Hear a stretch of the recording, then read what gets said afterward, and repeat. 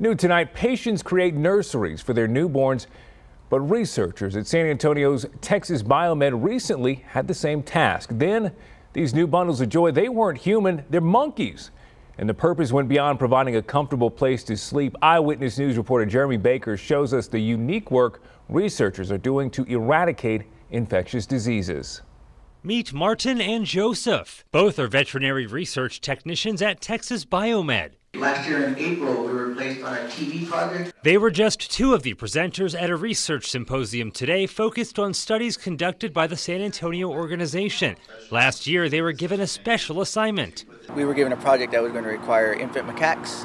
Uh, and we did not have currently a nursery at that time, so we had to put one together. They had to make new homes for 24 infants. Once we had everything we needed, we did it in a day really, we were able to put the incubators together and the shelving that we needed. So why use macaques for the six-month study? Physiologically, their bodies behave the same way as, as ours do. Bodies these two researchers watched grow from day one, treating them like their own children. You basically become a parent. They grow super fast, they're super smart, and they all have different personalities, so we, we get to know them really well. Even teaching them how to eat. We made them uh, self-sufficient so they could uh, feed off the bottles. Inside the incubator, they use these phone holders for your car, but it's holding a bottle of formula made of Similac, but they prepare it in a very special way.